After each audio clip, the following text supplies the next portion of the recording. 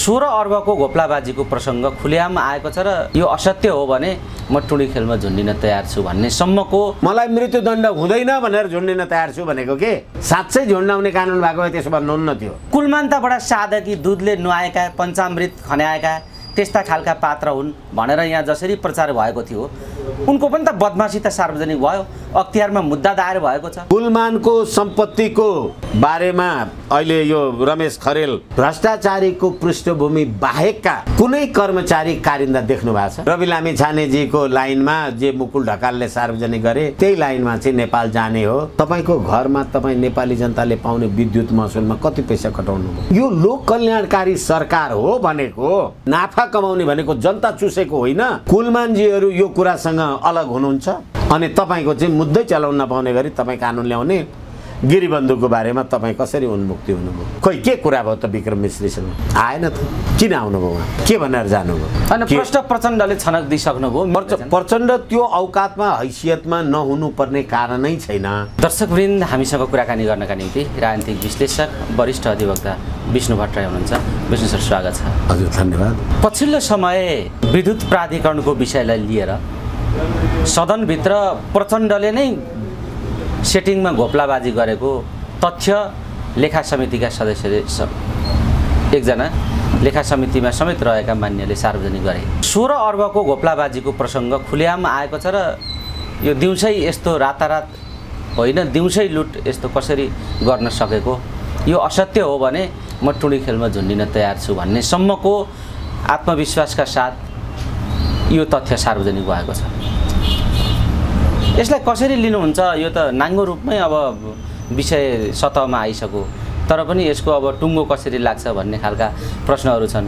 देश र नागरिकप्रति भ्रष्टाचारको यस्तो खालको खुलेआम अ, तथ्यहरू सार्वजनिक हुँदाखेरि पनि कतैबाट निरूपण यसको भ्रष्टाचार नियन्त्रणका कदमहरू हुन सक्छन् भन्ने कुरामा अब भर गर्ने ठाउँ रहेन। के भन्नुहुन्छ विष्णु सर? यो तथ्य जुन अहिले पछिल्लो समय बाहिरिएको छ ठुलो परिणामको भ्रष्टाचारको प्रसङ्ग यसलाई कसरी लिनुहुन्छ र यो प्राधिकरणको द्वन्द्व कतातिर गइराखेको छ? धन्यवाद। यो राज्य सत्ता सञ्चालनमा रहेका राज्य सत्तामा पुगेका कुन चाहिँ राजनीतिक दलका नेताहरू नेतृत्व तहका मान्छेहरू भ्रष्टाचारको कसुर अपराधबाट नमुछिएका भ्र- भ्रष्टाचारको कसुर अपराध नगरेका को चाहिँ मानिस छन् भने। यसै कारणले सम्पूर्ण भ्रष्टहरूले सञ्चालन गरेको राज्य व्यवस्थामा अब भ्रष्टाचार विहीन राज्य व्यवस्था बनाउँछु भ्रष्टाचार विहीन काम कारजवाही गर्छु भन्ने मान्छेको कुरा पत्याउने यो नेपाली समाज यो हाम्रो जन जे छन् नेपाली जनता त्यो देखेर पो आश्चर्यचकित हुन्छ त। अहिले पछिल्लो पटक प्रधानमन्त्री भएपछि केपी शर्मा ओलीजीले भ्रष्टाचारको बारेमा म भ्रष्टाचार गर्दिनँ भनेर म त चित्रगुप्तसँग पनि बहस गर्न तयार छु भनेर उहाँले देश र देशवासीलाई पत्याउनु नै भएन। उहाँ परमधाम भएपछि चित्रगुप्तसँग गर्नुहुन्छ अरे छलफल। अनि भ्रष्टाचार गर्नुहुन्छ कि हुन्न भन्ने कुरा चाहिँ अहिले उहाँकै पार्टीको मान्य सदस्य हुनुहुन्छ जहाँसम्म मलाई लाग्छ। हुन त अब सबैको नाउँ सबैको पद सबैको त्यो याद हुने कुरा भएन। तर अहिले सार्वजनिक लेखा समितिका सभापति ऋषिकेश पोखरेलले डेडिकेटेड ट्रङ्क लाइनको बक्यौता माफीबारे सम्बन्धित व्यापारीहरूलाई नै भेटेर प्रतिनिधि सभामा प्रस्तुत गर्ने प्रतिवेदनको मस्यौदा गर्नुभयो भन्ने कुरा सार्वजनिक भयो। अथवा पार्लियामेन्टमै सार्वजनिक भयो। र उहाँले भरेपछि माफी साफी जे जे माग्नुभयो त्यो आफ्नो ठाउँमा जे होला जे नहोला त्यो त्यसको बारेमा अहिले फेरि पछि कुरा गरौँला। अनि केपी शर्मा ओलीजी विदेश के अरे विधिको शासनको बारेमा कुरा गर्ने र भ्रष्टाचारको बारेमा चित्रगुप्तलाई साक्षी राख्ने अब नेपाल र नेपाली जनतामाथि त विश्वास गर्ने नै जनताले विश्वासै नगर्ने भइहाले अनि उहाँ आफै उद्वेग लाग्दो विषय। उहाँ आफैले विद्युत प्राधिकरणको प्रमुखलाई बालुवाटार बोलाएर डेडिकेटेड ट्रङ्क लाइनको आदि इत्यादि बकौता महसुल माफी गर भनेर भन्नुमा त्यो उहाँको कार्यक्षेत्रभित्र पर्ने हो। जलस्रोत आपूर्ति मन्त्री अथवा त्यो त्योसँग सम्बन्धित विभाग मन्त्रालय गतिविधि उहाँले फोन गरेर उहाँलाई बोलाएर त्यो भन्नुमा के चासो होला? अनि संसदको सार्वजनिक लेखा समितिमा अहिले त्यही ऋषिकेश पोखरेल भन्ने मानिसले एकासी चार उन्तिसको प्रतिनिधि सभालाई नै भन्नुभयो होइन म चाहिँ झुन्डिन तयार छु भनेर अहिले तपाईँले भन्नुभएको छ। मलाई यी भाषा सुन्दा हाँस उठ्छ। तपाईँले यो देशको कानुन संविधान बनाउँदा मृत्युदण्ड वर्जित गर्नुभएको छ मृत्युदण्ड उन्मूलन गर्नुभएको छ। जुन देशमा मृत्युदण्डको व्यवस्थै छैन त्यो देशमा अपराध गर्ने भने म झुन्डिन तयार छु भन्ने पागलहरूको कुरा कति बोकेर हिँडायो भने। संसदमा त्यसो भन्नलाई यो देशमा मृत्युदण्डको कानुन छैन भन्ने उहाँहरूलाई थाहा छ कि छैन। त्यो थाहा छ मलाई मृत्युदण्ड हुँदैन भनेर झुन्डिन तयार छु भनेको के? साँच्चै झुन्डाउने कानुन भएको भए त्यसो भन्नुहुन्न थियो र साँच्चै झुन्डाउने कानुन भएको भए यसो पनि हुँदैन थियो। अर्को कुरा अहिले भ्रष्टाचारका मुद्दामा हदम्यादको विधेयक कसले लिएर आउने? कसले लिएर आइरहेछ? यही सरकार यही केपी शर्मा ओली होइन? म भ्रष्टाचार गर्दिनँ गरेको छुइनँ म चित्रगुप्तलाई जवाब दिन्छु भन्ने मान्छे। भ्रष्टाचारको मुद्दामा हदम्यादको विषय किन लिएर आउनुभयो? कसको माग थियो यो? कुनै अर्थमा नेपाली काङ्ग्रेसको मान्य सदस्यहरूले त्यसलाई प्रतिवाद गर्नुभएको छ भन्ने कुरा आम सञ्चारबाट हामीले सुनेका छौँ। तर अहिले भ्रष्टाचारको मुद्दामा हदम्याद नलाग्ने भनेर कानुन ल्याउनुको आवश्यकता के हो? फेरि पुष्पकमल दाहालले नै यो डेडिकेटेड ट्रङ्क लाइनका मान्छेहरूलाई यो बक्यौता माफी गर आदि इत्यादि जे जे गर जसो जसो गर भनेपछि यहाँ व्यापारीको चङ्गुल बिना जुन निर्वाचनमा लड्दा खर्च हुने लाग्ने अर्बौँको खर्च यो निर्वाचन प्रणाली अन्तर्गत हो हुने खर्च त्यसको स्रोत के होला? कसैले भन्छन् कसैले बताउँछन्? अनि अर्बौँ व्यापारी सोह्र अर्ब अहिले चर्चामा चलेको त्यसलाई चाहिँ तपाईँ उन्मुक्ति दिने। कुलमान घिसिङ मैले बयासी अर्ब कि खर्ब विद्युत प्राधिकरणलाई नाफा गराएँ भन्ने। तपाईँको घरमा तपाईँ नेपाली जनताले पाउने विद्युत महसुलमा कति पैसा कटाउनु यो लोक कल्याणकारी सरकार हो भनेको। नेपाल आय निगमले दस अर्ब कमायो अरे। यो व्यापारी हुने सबै होइन भने सरकारद्वारा सञ्चालित जनकल्याणकारी संस्थाहरू तिनीहरूले नाफा कमाउने भनेको जनता चुसेको होइन र यिनीहरूले भ्रष्टाचार गरेको होइन भनेको। अहिले हेर्नुहोस् त बारी तरकारीमा कर लगायो भनेर पब्लिक बारीमा तरकारी फाल्न लागिरहेका छन्। अनि सरकार सोह्र अर्ब अठार अर्ब खर्ब कोनी के के कोनी के गर्ने व्यापारीहरूलाई माफ दिने भन्ने अनि अहिले राज्य चाहिँ राज्य कोषबाट ऋण उठाइराखेको छ। यो सबै जे भ्रष्टाचारको रकम हो त्यो असुल गर्नुहोस् त। अनि हदम्यादमा भ्रष्टाचार घटाउन तपाईँलाई यो गिरिबन्धु टी स्टेटमा भएको भ्रष्टाचारमा तपाईँले हदम्याद घटाएको हो कि होइन? यसमा कति भन्ने कति बोल्ने भन्ने कुरा हुन्छ। यसैले गर्दाखेरि यो मैले सधैँ भन्ने गरेको छु यो राज्य प्रणाली नै भ्रष्टहरूको प्रणाली हो। यो राज्य प्रणालीमा संलग्न भएर तपाईँ कहिल्यै पनि सफा हात अहिले गण्डकी प्रदेशवाला कुरा हेऱ्यौँ हामीले मधेस प्रदेशवाला कुराहरू हेऱ्यौँ। साउनको अठार कि पन्ध्र गते बनाएको बिसजनाको सरकार अहिले साउनको तिस गते हुँदैछ फे- फेरि तलमा थियो यो सारा मुलुक लुटको यो राज्य प्रणाली जे हो त्यो प्रणालीले नै यो भ्रष्टाचार यो प्रणाली रौन्जेल भ्रष्टाचार रहँदैन ए यो भ्रष्टाचार हट्दैन। जबसम्म भ्रष्टाचार रहिरहन्छ राजनीति गर्नेहरूको लागि अकुत कमाइको स्रोत यही नै हो। अस्ति भर्खरै पनि मैले यहाँहरूसँग निवेदन गर्दा भनेको छु अमेरिकाको राष्ट्रपतिको निर्वाचनमा कमला ह्यारिसलाई उनीहरूको पार्टीले डेमोक्रेटिक पार्टीले औपचारिक उम्मेदवार घोषणा गरिसकेपछि उनले गरेको भर्चुअल मिटिङमा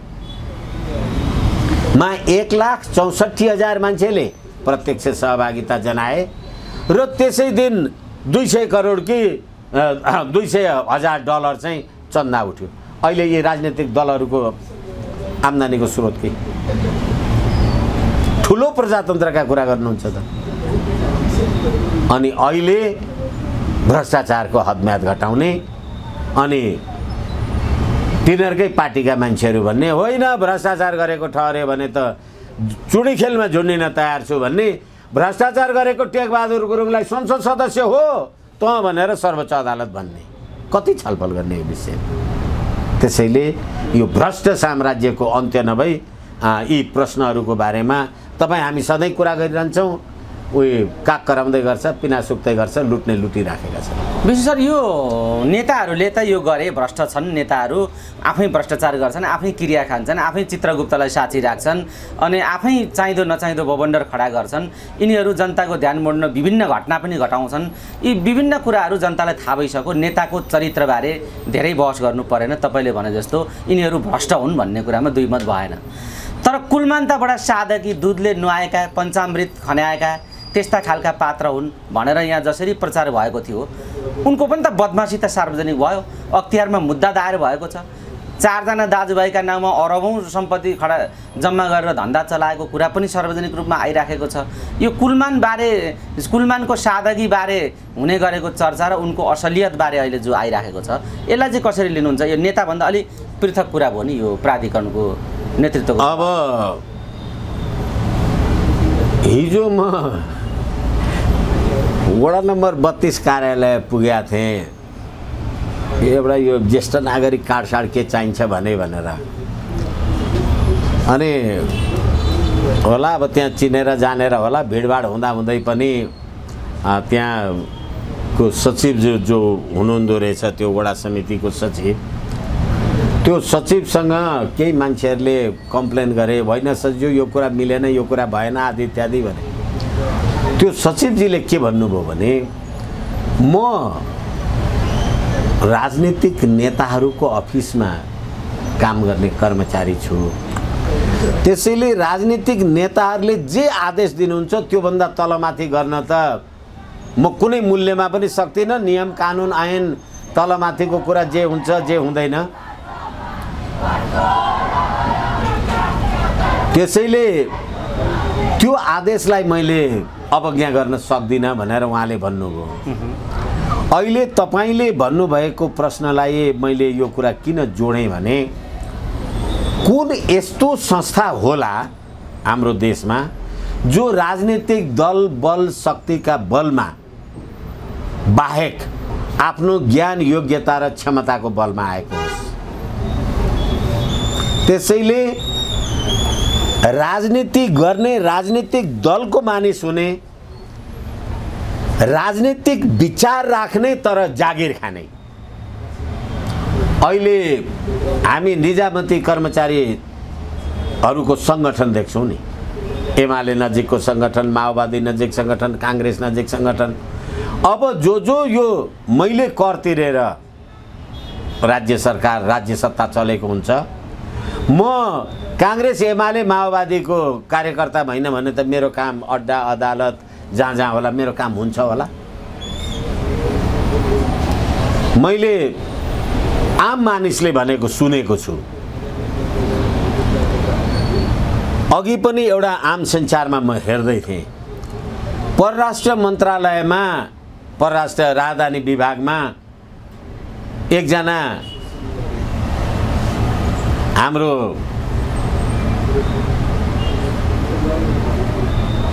कालापानी बस्ने नागरिक राजधानी बनाउन गएछ।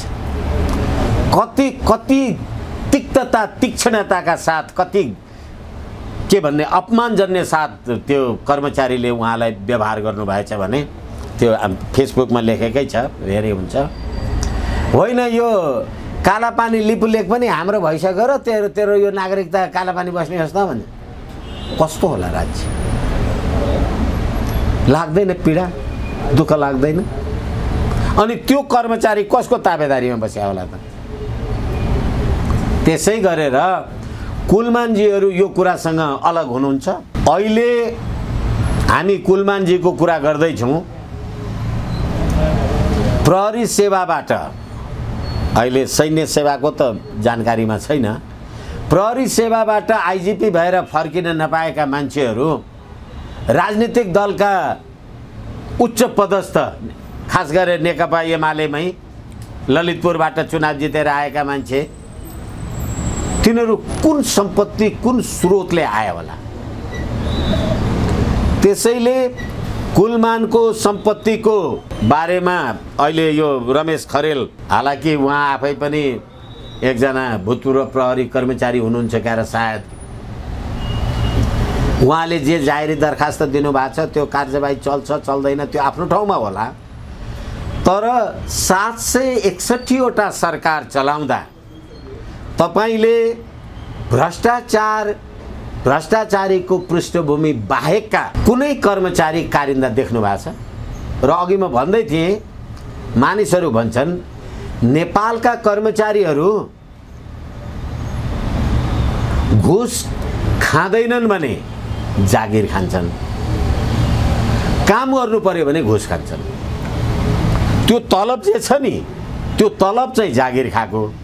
अनि त्यो कुर्सीमा बसेर काम गर्नु पर्यो भने चाहिँ घुस नलिकन कामै नगर्ने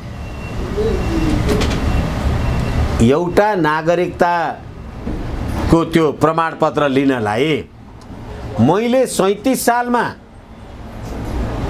काठमाडौँ प्रमुख जिल्ला अधिकारीको कार्यालयबाटै नागरिकताको प्रमाणपत्र लिएको। अनि अहिले नयाँ संस्करण आएको यो नागरिकता लिनु पर्यो भनेर जाँदाखेरि सैँतिस सालको नागरिकताको रेकर्डै छैन। रेकर्ड राज्य राख्दैन अनि कसुर जनताको हुन्छ र फेरि जाऊ सरजमिन गराऊ मुचुल्का गराऊ के गराऊ यो उठाउ जाऊ। यस कारणले गर्दाखेरि भ्रष्टाचार रहित गएको वर्षमा मात्रै अख्तियार दुरुपयोग अनुसन्धान आयोगले मुद्दा चलाएको एक हजार बिस कि एक हजार तिस कति मानिसहरू उप अख्तियारले मुद्दा चलायो अब यो भ्रष्टहरूको मुलुकमा राजनीतिक दलको आवरण इच्छा बिना र अदालतले भन्यो नि त दीप बस्नेतहरूले फाइल लिएर गए र त्यो माधव नेपाल अथवा विजय गजदार त्यति ककसलाई सदर गराए। फाइल सदर गराउने सदर गर्ने चाहिँ कसुरदार नहुने। फाइल बोकेर जाने चाहिँ कसुरदार हुने। यही न्याय प्रणाली होइन। अनि यस कारणले गर्दाखेरि अहिले त्यसमा कुलमान घिसिङ चाहिँ कसरी अपवाद हुनुहुन्छ? अर्को कुरा अहिले यहाँ सडकमा यो कुलमानलाई हटाउन लाग्यो कोनी के गर्न लाग्यो भनेर नारा जुलुस पनि लागिरहेका छन्। त्यो नारा जुलुस स्वतः स्फूर्त आएको हो कि त्यो बयासी अर्ब विद्युत प्राधिकरणको कमाइमा त्यता पनि खर्च भएको केही त छैन?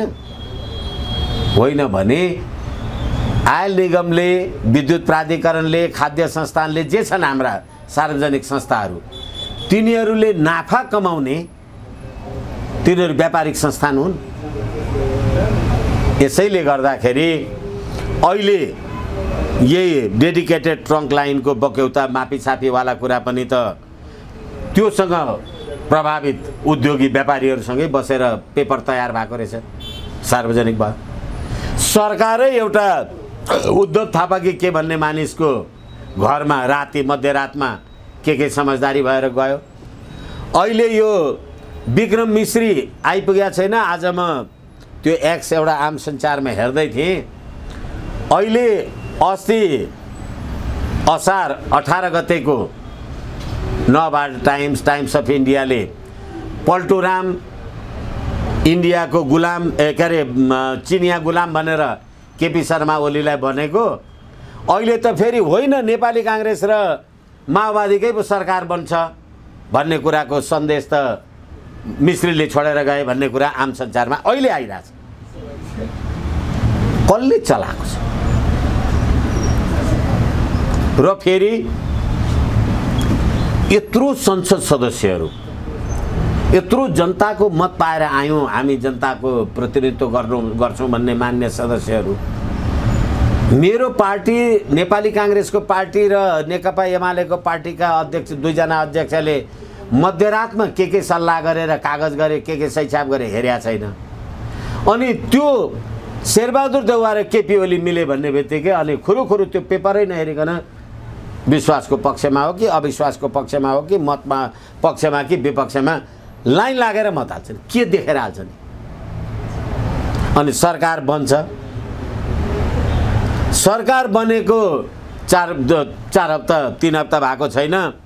भारतीय पक्षको अरू चिजको बावजुद यो सरकार बनेको भन्ने कुरा चाहिँ अहिले भारतीय पूर्व राजदूत युवनाथ लम्साल भन्ने मान्छेहरूले भने भन्ने कुरा सार्वजनिक रूपबाट आइराखेको छ। यो स्थितिलाई हेर्दाखेरि को चाहिँ चोखो छ? सत्तामा बस्ने र सत्तामा बसुन्जेल लुटिहाल्ने राष्ट्र राष्ट्रियता राष्ट्रिय एकता केही अर्थ छैन। र भ्रष्टाचार गोविन्दराज जोशीको चाहिँ एक्काइस वर्षमा मुद्दा फैसला हुने। अनि तपाईँको चाहिँ मुद्दै चलाउन नपाउने गरी तपाईँ कानुन ल्याउने। गिरिबन्धुको बारेमा तपाईँ कसरी उन्मुक्ति हुनुभयो? र अहिले यो यो विक्रम मिश्रीको बिना एजेन्डाको भ्रमण बिना तय गरिएको आकस्मिक भ्रमण भनेर भन्छन् के त्यो एजेन्डा अहिलेसम्म थाहा छैन। तर उहाँले भेट्दाखेरि केपी शर्मा ओलीजीसँग उहाँले चौवन्न मिनट भेट्नुभएछ माधव कुमार नेपालजीसँग एक घन्टा भेट्नुभएछ माधव कुमार नेपाल यो अहिलेको सरकारमा के हैसियत राख्नुहुन्छ?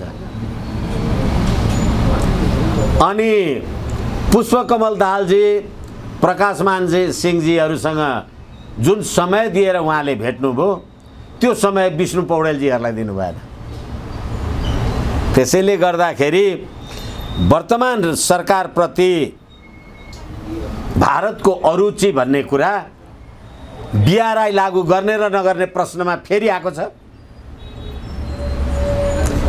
यिनै परिदृश्यमा हेर्दाखेरि यो भ्रष्टाचार सरकार शान्ति सुव्यवस्था सुशासन यसको मलाई त लाग्छ यो कुरा गर्नु पनि अब त उही रमाइलो मान्नलाई आम सञ्चारले सोधेको हुन्छ आफूले जवाब दिने हो हुने केही होइन।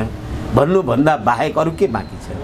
र जनताको जागरुकता अब बङ्गलादेशसँग जोडेर धेरै कुरा हेर्छन्। जति नै भने पनि खोइ त यो सम्पूर्ण कुरामा जनता जानकार त छ नि त। यसैले फेरि पनि मैले चाहिँ सधैँ दोहोऱ्याएर तेह्र्याएर भनेको छु प्रणालीको परिवर्तन जबसम्म तपाईँ नेपाली जनता गर्दैनन् यो सधैँभरि यो रहिरहन्छ विशेष सर यो सन्दर्भमा अहिले अहिले मिश्रीको भ्रमण पनि तपाईँले यहाँ सन्दर्भ जोडिहाल्नुभयो। यो मिश्रीको भ्रमण पछि फेरि खा एउटा खालको सत्ता परिवर्तनको एक्सर्साइज सुरु भयो। अब माओवादी र काङ्ग्रेस अर्को समीकरण बनाएर जान खोजिराखेका छन् भने अघि सन्देशको कुरा पनि तपाईँले यस्तो सन्देश छोडेर गए भन्ने खालको कुरा पनि गर्नुभयो। त्यही अनुरूप काङ्ग्रेसका नेताहरू अहिले खुमलटारमा प्रचण्ड निवासमा निरन्तर वार्तामा हिजोदेखि रहेको तस्बिर पनि सार्वजनिक भएको छ को को नेता जाँदैछन् भन्ने पनि आइराखेको छ। यो त्यसै अन्तर्गत मिश्रीको निर्देशन पछिको खेलोमेलो सुरु भएको हो। फेरि पनि मिश्रीको खेलोमेलो पछि होइन सत्र गते अथवा सोह्र गते मध्यरातमा केपी शर्मा ओलीजी र शेरबहादुर देउवाजीले गर्नुभएको सम्झौता जे जे कागजपत्र जे होला मैले अघि निवेदन गरिसकेँ। आम सञ्चार आदरणीय पत्रकार महोदय नभार टाइम्सलाई चाहिँ थाहा भयो यो फल्ना पल्टु राम हो फल्ना चाहिँ भारतको पक्षधर हो यिनीहरू यस्तो गतिविधि गरे भनेर। तर मेरो पार्टीको अध्यक्ष तपाईँको पार्टीको अध्यक्ष बसेर नयाँ सरकार बनाउने छवटा सातवटा एजेन्डामा सही गरे अरे त्यो एजेन्डा मैले देखेकै छैन खुरुखुरु भोट हाल्छु म। कस्तो होला म? एमाले हो कि काङ्ग्रेस हो? हेर्नुहोस् त त्यो भोट हालेको। के बुझेर हाल्यो होला?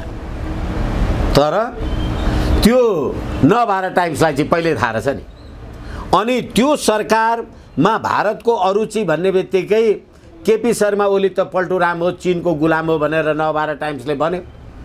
त्यो भनेको दोस्रो त्यो भनेको दुई हप्ता पुग्दा नपुग्दा भारतीय विदेश सचिव नेपाल आए नि त। नेपाल आएर उनले नेपाली काङ्ग्रेस निकट रहेका राजनीतिक मानिसहरूलाई जति समय भेट्ने समय दिए नेकपा एमालेसँग निकट रहेका मान्छेहरूलाई त्यसको आधा समय पनि दिएन। र फेरि एकजना भारतीय विदेश सचिव आउने बित्तिकै राष्ट्रपतिदेखि लिएर प्रधानमन्त्री हुँदै भूतपूर्व प्रधानमन्त्रीहरूसँग त्यही पनि संसदमा दसवटा सिट भएको माधव नेपालको पार्टीलाई घन्टौँ भेट दिनुभयो। रासोपावालालाई भेट दिनु भएन। राप्रपावालाहरूलाई भेट दिनु भएन। भन्नुको तात्पर्य अहिले माधव नेपाललाई इन्डियाले त्यो त्यो प्रकारले प्रमोट प्रमोट गर्नुको अर्थ त केपी शर्मा ओलीसँग सबैभन्दा बढी राजनीतिक दुश्मनी र इगोइजम भएको त प्रचण्डजी माधव नेपालजी नै होला नि? सगोत्री। त्यसैले अब फेरि नेपाली काङ्ग्रेससँगको संलग्नतामा शेरबहादुर देवै होस् अथवा माधव नेपालजी नै होस् फेरि नयाँ समीकरण हुँदैन भनेर भन्न कहाँ सकिन्छ उहाँले केपी शर्मा ओलीजीले नरेन्द्र मोदीजीलाई नेपाल भ्रमणको निम्तो त दिनुभयो भन्ने कुरा आम सञ्चारमा त्यो कुराकानीमा भयो भन्ने कुरा चाहिँ सुनियो। तर त्यसलाई विक्रम मिश्रीले स्वागत सत्कार समर्थन गर्नुभयो अथवा यो चाहिँ आवश्यक ठिक कुरा हो भन्ने कुरा भन्नु भएन। तर छिमेकी प्रथम नीति हो। हामी त नेभर फर्स्ट भनेर आएका हौँ। भनेपछि हाम्रो नेभर फर्स्ट चिन चाहिँ हो कि होइन त? चिनले के भन्छ? चिनको त अहिले प्रतिक्रिया आएको छैन। त्यसकारण नेभर फर्स्ट भनेर अहिले जे भारतको यो विक्रम मिश्रीजी आउनुभयो र बङ्गलादेश श्रीलङ्का लगायतका कुराहरूमा भारतको सिमाना जोडिएका कुराहरूमा जे जे प्रकारका असमझदारी छन् र हिन्दूहरूमाथिको जे जे बर्बरता छ त बङ्गलादेशमा रहेका हामी चौरानब्बे प्रतिशत ओमकार परिवार बस्ने देशका मान्छेले तिमीले मिश्रीसँग कुरा गर्दा यो प्रश्न त उठाएनौ नि। चित्रगुप्तसँग चाहिँ भ्रष्टाचारको शपथ ग्रहण गर्छु म खान्छु भन्यौ। तर यो कुराको बारेमा त उठाएनौ। अनि बङ्गलादेशबाट आएका ती आतङ्ककारी नै हुन् कोनी केही नै हुन् भनेर हाम्रो सुरक्षा निकायले कहाँ कहाँ नेपाल प्रवेशको क्षेत्रबाट द्वारबाट फिर्ता पठाए पनि हामी भनिराखेका छौँ। त्यो बारेमा खोइ के कुरा भयो त विक्रम मिश्रीसँग? आएन त।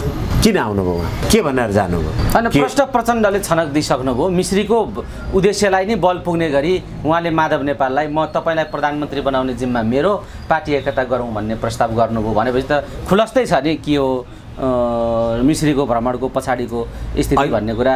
तर प्रचण्ड त्यो औकातमा हैसियतमा छन् कि छैनन् तपाईँको विचार? प्रचण्ड त्यो औकातमा हैसियतमा नहुनुपर्ने कारणै छैन। किनभनेदेखि अहिले फेरि यो सत्य निरूपण तथा मेलमिलापवाला कुरा छ। आज बहस भइरहेछ प्रचण्ड बोलिरहेछन् टिआरसी विधेयकको बारेमा। प्रचण्ड त जुनसुकै हालतमा पनि यो मानवाधिकारका घोर उल्लङ्घन जघन्य हत्या अथवा युद्ध अपराध जे जे छन् ती कुराहरूबाट सधैँभरि उहाँले त पश्चिमा शक्ति र भारतीय शक्तिको आडमा नलागी त उहाँ उभिन हाछ्यौ गर्न पनि सक्नुहुन्न। अहिलेको भरे उहाँ अपराधी ठहर्नुहुन्छ कसुरदार ठहर्नुहुन्छ। यस कारणले गर्दाखेरि अहिले मिश्रीले उहाँकै घरमा गएर पुष्पकमल दाहालजीलाई भेट्नुपर्ने माधव नेपालजीलाई नै भेट्नुपर्ने र कुरा के भयो भन्ने कुरा उहाँहरू चाहिँ सार्वजनिक नगर्ने। तर प्रचण्डजीले भन्नुभयो त्यो आम सञ्चारमा आयो कोनी के भयो तपाईँलाई बनाइदिने जिम्मा मेरो। त म छौन्जेल उथल पुथल उलट पुलट त सधैँ भइरहन्छ भने त भनेकै हो। यसै कारणले गर्दाखेरि अब फेरि अस्ति केपी शर्मा ओलीजीले ओलीजीलाई नेपाली काङ्ग्रेसले जे धोका दिएको थियो होला अब फेरि अहिले हामी दुई ठुला दल मिलेर राज्य चलायौँ सरकार बनायौँ भन्ने जुन नीति सिद्धान्तको प्रतिकूल हो भनेर हामी भन्छौँ होला त्यसैले भ्रष्टाचार विरोधी कानुन लिएर आइराखेको छ र टिआरसीमा सही गर्नका लागि अब तिनजना मान्छे सही गरेर सत्र हजार मान्छे मारेका जनताको उन्मुक्तिबाट प्रचण्डजी माफ पाउ उन्मुक्ति पाउने नपाउने कुरा त आफ्नो ठाउँमा छ तर केपी शर्मा ओलीजीसँगको उहाँहरूको जुन राजनीतिक प्रतिशोध छ त्यसलाई समन गर्न अथवा त्यो प्रतिशोधलाई बदला लिनका लागि उहाँहरू जुनसुकै क्रिया गर्न पनि तयार हुनुहुन्छ भन्ने कुरा चाहिँ अहिले यो विक्रम मिश्रीको भ्रमणले पनि फेरि कुनै नयाँ समीकरण बन्छ भन्ने कुरा चाहिँ बन्न सक्छ भन्ने कुराको सन्देश उहाँले दिएर जानुभयो। अब यो स्थितिमा भारतको यो हदसम्मको प्रभाव नेताहरूको यो हदसम्मको लम्पसार प्रवृत्ति भ्रष्ट आचरण र प्रतिशोध साध्नका निम्ति जे पनि गर्न तयार हुने एउटा परपीडक शैली जुन देखा परो यो भित्रबाट अब परिस्थिति कता जाने देख्नुहुन्छ नेपालको राजनीतिक परिस्थिति? अब नेपालको राजनीतिक परिस्थिति हुन त मैले अगाडि पनि तपाईँसँग कुरा गर्दा भनेको छु पाँच सात दिन अगाडि कुरा गर्दा निवेदन गरेँ जस्तो लाग्छ। के चाहिँ अब जनता सडकमा उत्रेर विद्रोहको बिगुल फुक्नुको विकल्प छैन। होइन भने स्वर्णिम वागले रवि लामी छानेजीको लाइनमा जे मुकुल ढकालले सार्वजनिक गरे त्यही लाइनमा चाहिँ नेपाल जाने हो। किनभने मलाई प्रधानमन्त्री बनाउने हो भने यो देशलाई भुटान बनाउन सिक्किम बनाउनका लागि पनि हामी तयार छौँ भनेर कुरा भएकै हो भनेर मुकुल ढकालजीले जे भन्नुभयो। र यो जनताको मौनताले गर्दा तपाईँहरू सडकमा निस्किनुहुन्न भने यो यो नो नट अगेनवालाहरूको जे जे यस you are again and again भन्ने जे कुरा भएको छ त्यो नियतितिर मुलुक चाहिँ उन्मुख हुन्छ भन्ने मलाई लाग्छ। हवस् समय दिनुभयो। यो महत्त्वपूर्ण समय र संवादका लागि यहाँलाई धेरै धेरै धन्यवाद छ हस् धन्यवाद।